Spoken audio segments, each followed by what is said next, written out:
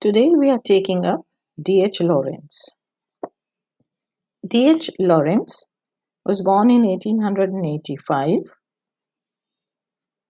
He was a novelist, short story writer, poet, critic, playwright, essayist, and a painter. He was born at Eastwood, Nottinghamshire. His father was a coal miner and his mother came from a family with genteel aspirations. He left Nottingham, uh, uh, Nottingham High School in 1901 and worked as a clerk and pupil teacher before taking a training course at University College, Nottingham. Subsequently, he taught in Croydon until illness forced him to resign. His writing was first encouraged by his friend Jessie Chambers and Ford Madox Ford, who published his poetry in the English Review and helped him with the publication of his first novel, The White Peacock, in 1911. Set in what is recognizably the countryside around Eastwood, it contains a striking character in the Gamekeeper Annable. The White Peacock was followed by The Trespasser in 1912 based on the experiences of his friend Helen Corke and his first major work, the autobiographical Sons and Lovers in 1913. In 1912, Lawrence met Frieda Weekley, daughter of a German baron and wife of a professor at Nottingham. They went to Germany together and married after her divorce in 1914. During First World War, they lived in London and Cornwall until expelled on suspicion of spying uh, for the Germans. By this time, Lawrence has formed close friendships with among others David Garnett, Aldous Huxley, Bertrand Russell, Lady Ottoline Morrell, Katherine Mansfield, John Middleton Murry, and Richard Aldington. His next novel, The Rainbow, in 1915, he wrote it, was prosecuted and banned on grounds of obscenity. Its successor, Women in Love, had difficulty finding a publisher. It was finally printed privately in New York in 1920, and later a censored English edition followed in 1921. In 1919, Lawrence and Frieda left England for Italy, where he wrote The Lost Girl in 1920, Aaron's Rod in 1922, and Mr. Noon, an incomplete novel carried forward his life following Sons and Lovers. It was eventually published in 1984.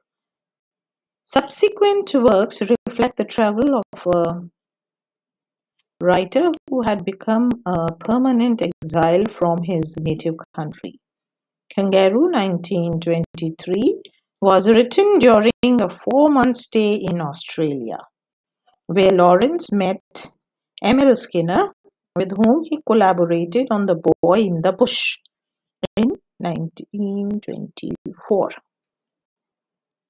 The Plumed Serpent was inspired by his stay in Mexico his last novel, Lady Chatterley's Lover, was published in Florence in 1928.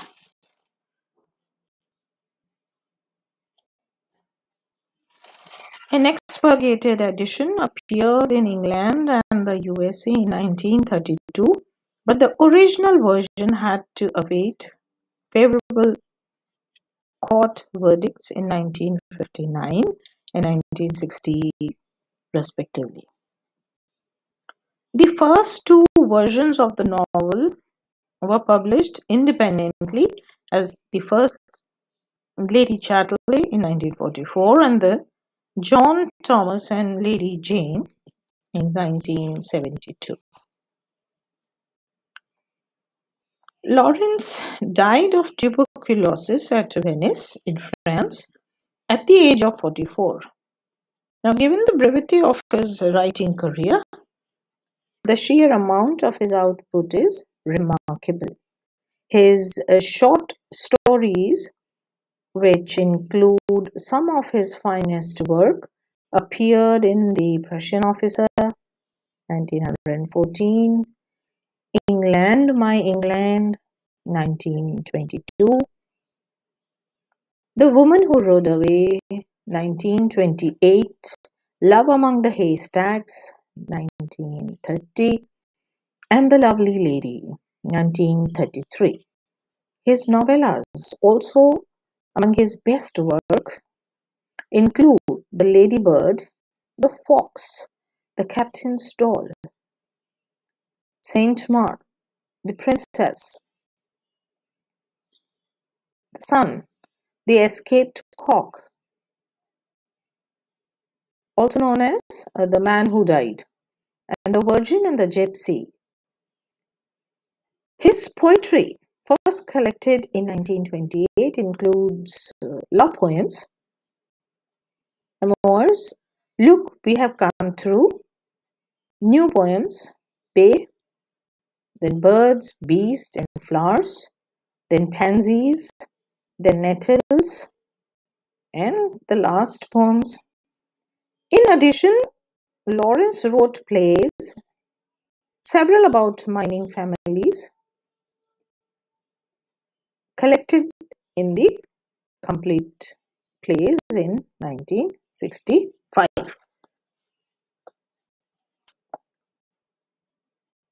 His non-fictional prose covers a broad spectrum, psychoanalysis and the unconscious, and Fantasia of the Unconscious stand in intimate relationship to the thinking which informs his major novels. His literary criticism includes the groundbreaking study in classic American literature and a study of Hardy,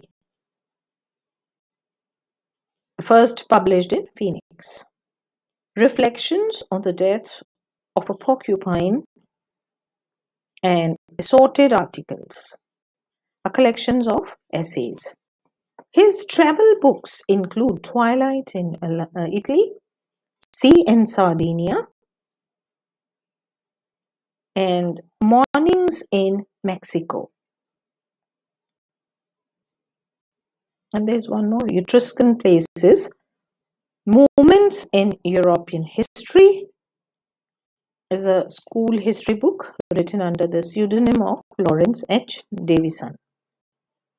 Many of his uncollected stories, essays, reviews, and introductions were included in Phoenix. The posthumous papers and Phoenix Second, uncollected, unpublished, and other prose works and most of his pictures were reproduced in the paintings of D.H. Lawrence. And his time period, as you know, is 1885 to 1930. So he died in 1930 at a very young age of 44. This is all for today.